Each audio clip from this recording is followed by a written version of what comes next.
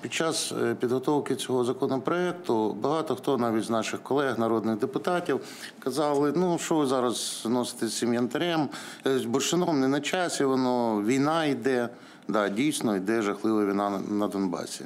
Але слід сказати, що в е, е, північних районах трьох областей Житомирський, Рівненський та Волинський теж йде війна.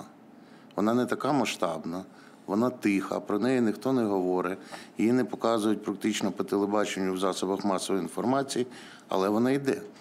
І на цій війні, як на будь-якій іншій, гинуть люди. Люди гинуть в цих копанках, де їх завалюють. Люди гинуть під колесами джипів, які носяться по е, лісним дорогам. І люди іноді гинуть від бандитських куль, так званих окоронців, цих ділянок, де видобувається бурштин. І ця бурштинова лихоманка охопила е, Полісся, і з цим треба щось робити. Бо е, процес ввести в законне русло, е, можливо, точніше, ввести в законне русло лише тоді, коли будуть відповідні закони. І зараз ми працюємо, саме зараз ми працюємо над цим законом. Бо е, на протязі багатьох місяців в Житомирській області, в Рівенській області громадськість, депутати місцевих рад звертались до обласних чиновників, до правоохоронних органів з питанням навести хоч якийсь лад з цим.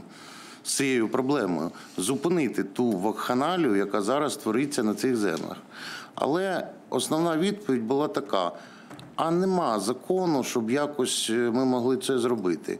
І нема закону, як раніше казали, нема людини, нема проблеми, так і тут. Нема закону, ну і нема проблем. А проблема є. І проблему цю бачать всі, хто хоче її побачити. На жаль, багато хто з е, і правоохоронних органів, і чиновників не хочуть бачити цієї проблеми. Вони кажуть, що це нормально, нема такого там нічого загрозливого не для людей, ні для екології.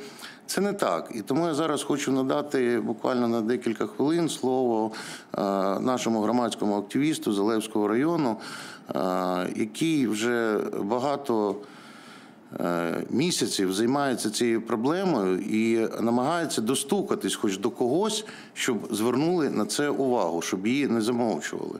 Будь ласка.